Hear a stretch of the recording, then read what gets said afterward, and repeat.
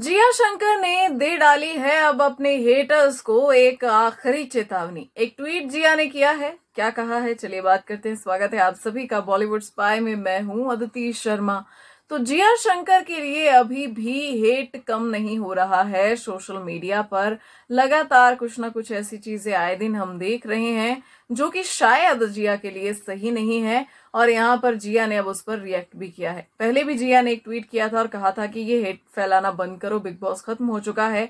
लेकिन अब जिया ने एक बहुत बड़ा एक्शन लेने की ठानी है। जिया ने कहा है कि जिलियन टाइम्स मैं सबको बोल चुकी हूँ कि ये हेट अब बंद करो, लेकिन कुछ लोगों को पर्सनल अटेंशन चाहिए, जिसके लिए वो ये चीज़ें कर रहे हैं। लेकिन अगर अब मुझे ऐसा कुछ भी दिखा, कुछ भी लगा जहाँ पर लाइन क्रॉस होती मुझे नज़र आई तो मैं इस पर जो है एक्शन लूँगी। जी हाँ अब कुछ अगर ऐसा होता है जिया के अगेंस्ट तो उस पर जिया एक एक्शन लेने वाली है दोस्तों।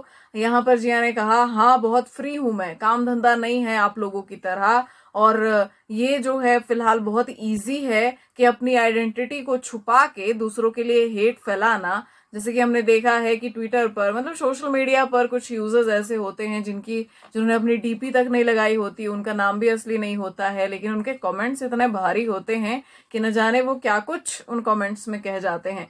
तो जिया ने कहा है कि पूरी दुनिया के सामने आ जाओ with your real name and picture फिर बात करेंगे। अभी भी बड़े प्यार से जवाब दे रही हूँ और sure think that I am trying to take sympathy तो यहाँ पर आगे हैशटैग में जिया ने लिखा है आता जिया जी सटकली जी हाँ तो भाई अब uh, जिया को गुस्सा आ रहा है इन सारी चीज़ों पर और जिया कोई एक्शन uh, ले सकती हैं तो प्लीज़ जो लोग भी ये कर रहे हैं तो उन्हें अब रुक जाना चाहिए क्योंकि बिग बॉस तो खत्म हो चुका है भैया।